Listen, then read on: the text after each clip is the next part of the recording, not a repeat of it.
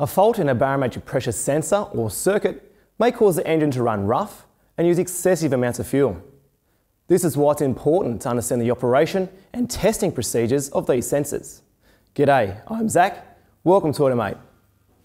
In this module, we'll be covering the barometric pressure sensor. We'll check out the signal performance and signal erratic DTCs. Signal erratic and performance codes typically set because the signal data from the sensor does not follow a predefined pattern set by the ECM. The ECM would expect to see barometric pressures rise and fall in a linear fashion. If the signal from the sensor fell outside these parameters for a predetermined time, the ECM would log a performance or erratic code.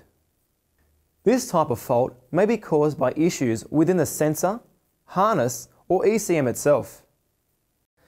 This vehicle has a baro sensor designed as part of the multifunction intake air sensor. Other OEMs may choose to fit theirs in different locations, but their tests are identical. With the ignition off, disconnect the multifunction intake air sensor. With the ignition back on and the meter set to volts, place the black test lead on the low reference terminal in the harness connector and the red on the high reference terminal.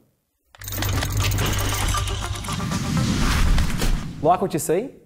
To gain access to the most advanced automotive technical training available, visit our website and become the best technician you can be.